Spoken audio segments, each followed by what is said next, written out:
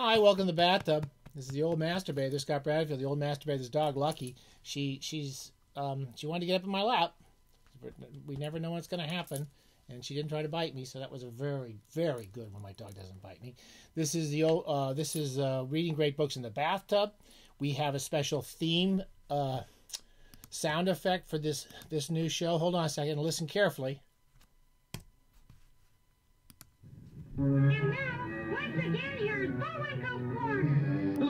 Bullwinkle's Corner. That's right. Um, we we only we get all our sound effects from our, our cultural references in the bathtub are pretty slim. You know, we got, we got Jay Ward cartoons. Oh, and the dog. Okay, so um, this is our uh, we call it Poets Corner, and we actually call it Living Poets Corner. Lucky can see out the window, so you can stay there if you want. I don't want to put her down because she, she gets crazy. Um, we have the Sydney Greenstreet effect from the fan. I turned it off. This is our supposed to be our first episode with 5,000 subscribers. 5,000 subscribers, not quite. We still, it's just inches. This is the the bathtub is a game of inches. It's taken us years to just get up to 5,000. I think we're like 10 short. We had the big 5,000 subscriber episode without 5,000 subscribers, but lots of people showed up. Thanks to everybody who came. You too, Lucky. You and Dodo were both. Well, you were you were there in spirit. And uh, Dodo Lucky's on uh, gabapentin now. I just heard there was a piece today about on the radio that gabapentin is the most overprescribed drug in, in the world, but it kind of helps Lucky from it. She doesn't attack us too much when she's on the on the gabapentin, do you, Lucky? And um, we're wittering around. Today is a big debate day. I can't watch debates. A, I can't. I can't watch for two reasons. I can't watch that idiot, that guy becomes president again. I can't. I just can't see him watching on TV, and I can't watch the Democrats screw it up again. So we'll cross our fingers. Hope old Kamala does a decent job. I'm not going to watch that stupid thing. I'm going to do stupid videos, and here we go. So if this is, it's called it's called Living Poets Corner. We did it. Uh, our first one because our, our, our bathing buddy Bob Black, bathing buddy Bob Black, sent us some poetry, which which was cool, and we did Louise Glück. Louise Glück, you can get down. Go ahead. I don't want to. I don't want to pick her up. We had a very good time. It was a very very good session in my lap without any craziness. And uh, Louise Glück, we learned how to pronounce her name, and we learned that she was dead. So there was our first living poets corner, and, and we did it with a dead poet. But you know, I don't want to call it Dead Poet Society that, that wouldn't make it. That wouldn't be a good name. And I think all poetry is living poetry. So, so we'll try to do living poets when we can. But we're just, basically the premise is all poets are living. I'm going to do today a writer who I'd be curious what some of the poets out there think. Sanora Babb. We've been talking a bit about Sanora lately. I just did a long piece on her for the uh, the, the New Republic, one of the places I do I like to work for and I enjoy working for the most. And um, I get to do longish pieces, and I spent a long time reading her and enjoying her work and reading a wonderful biography of her life, which we'll talk more about, by Iris Jamahl Dunkle, the life of the life of Sanora Babb. It's coming out in November from University of California Press, and uh, in the course of reading it, she's famous. She's famous. We've talked about it before for writing this book called "Whose Names Are Unknown," about the Dust Bowl, and it's about a bunch of a family in the Dust Bowl in Oklahoma where Sanora Babb was raised as a child, and all this sort of happened to her, and her farm got knocked out by the Dust Bowl and by the drought, and then she moved to East Colorado, and eventually California. But she she sort of grew up in in Grapes of Wrath territory, and then later in life she worked in California at the uh, at these sort of state-sponsored uh, uh, refugee camps for all the all the, the Oklahomans, the Okies as they called them at the time, and she worked in some of those camps. And so she wrote a book about that passage from Oklahoma to California, which of course um, we know a famous book that did that. She uh, compiled a whole pile of notes. The, the, the, story of her life gets boiled down to this one story, which is not, it, it doesn't give you a sense of what her, her career was really like. But she was on this camp and working on this refugee camp and, and gathering all this information for her novel. And John Steinbeck showed up, knew her boss, and she let him have her notes. She had a huge pile of notes. In fact, I have a copy of the the, the book version of it here somewhere. Gave them to Steinbeck, and he used them, especially the stuff about the refugee camps and all that those passages in Grapes of Wrath. And then he dedicated the book Grapes of Wrath to her boss, Tom Collins, and never mentioned her name, which is the part I like Steinbeck, but that was kind of crappy. Anyway, she she couldn't sell her novel as a result of this because Grapes of Wrath came out first and no one wanted to publish whose names are unknown. She had a lot of other interesting things happening in her life. She was married to James Wong Howe, the great, a great cinematographer, Asian American, at a time when Asian Americans weren't even allowed on a lot of the Hollywood lots. And he, he you may know, he's the most famous. His, one of his early works was for he did Citizen Kane.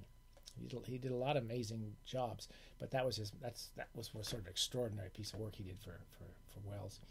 Anyway, she was married to him and had a lot of relationships and had and she was a poet and a short story writer. We've talked about her short stories. I'm a big fan of her short stories, and I'm also a fan of her poetry. And her poetry is, it's again, I, I don't. It's not sophisticated poetic uh, structure and language, and and and it, it's it's very direct, like everything she writes. It's very direct. It's very personal.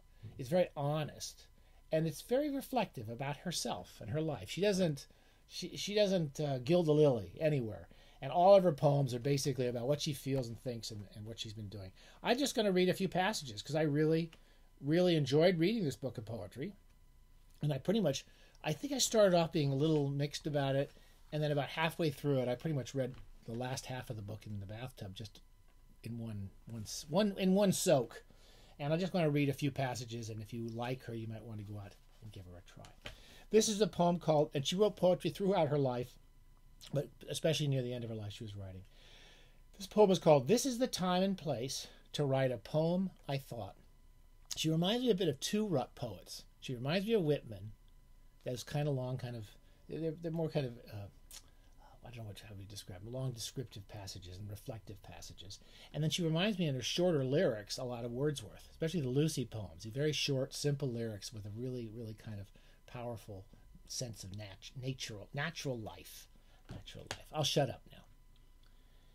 This is the time and place to write a poem, I thought. But why? When I cannot say what the moist earth is humming into the skin of my bare feet.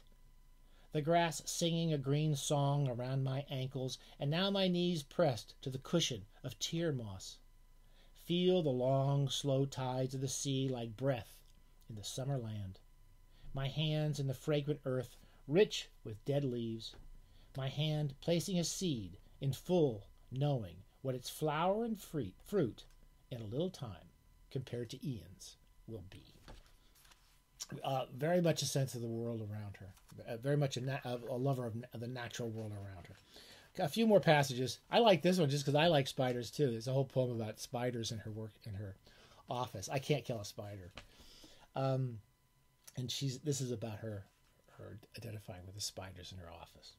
Spiders. In the rainy season, spiders appear as if in migration or resettling. They like especially my workroom where books and manuscripts provide arbors and darkness. When I turn on the light, they run, escaping as if I am after them. But I am not. I move carefully in order not to hurt or molest one. I have heard they bite if molested, and that the brown house spider is now known to be as poisonous as the black widow. All are here. You have all become house spiders in this season. I haven't the heart to interfere with whatever native course or planless plan has brought you. I like I like all these programs. I particularly like the one that one. Um, just read a few more. Uh, this is a very short one, near the end of her life, and it's sort of thought I think it's a thought that older people should feel, and I like the way she expresses it. It's just it's just called plea. Oh, let me die before my senses stand immune to these. The mystery of one new rolled leaf, the loneliness of winter trees, the awesome majesty of storms, the song and forlorn wandering winds. Oh, let me die before my scorn of young lovers begins. Lovely poem. Um, I quote a few of these in the piece I wrote. I'm going to read two more quick ones. This is called Vagrant Quest. And again, it's about when you get older, you just, just basically your life is becomes measured in losing things. See, I got to put my shirt on. What is this? Vagrant Quest. That doesn't that doesn't attract viewers, I can tell you. if in some solitary hour I miss him strangely overmuch, she's talking about her hus- her dead husband, I think. I may be blind enough to seek a place made richer by his touch. I may be lone enough to say that day his cool hand held this book. He turned this page and read this line. And God knows what it was he took from me that day I should vainly search, in eager, half expectant way, to see his face lost in a crowd, or find him as the night turns day. And I think I'll just close with this last one. I don't again I don't remember these things. I've just tag tag things that I really liked. And again, it's about the end of life, I think. And it's just called Essence. I am a wind blown out of the earth, the inners of the earth, over flowers that are yet to spring up from its edges. I am a wind blown through you, fragrant with swollen seeds, strong and free with the breath of things unborn. I am a wind that bothers the lock and sends the branch catching and troubling your roof in little soft sounds like thoughts out of me that have caught in your mind and will not lie down. I am a wind that will trouble your door and never come in. Anyway, I think it's a lovely book of poems. Uh, told in the Seed and selected poems from from Sanora, the great Sanora Babb, and uh, again, we, we, I did a long piece about her, um, but the main thing is her, her, story seems to be boiled down to this one book. Um, and, but she she produced all this other wonderful stuff, and she should remember for the good stuff, not the this one piece of terrible luck she had. Okay, stay safe, enjoy some poetry. You don't need to explain it to anybody.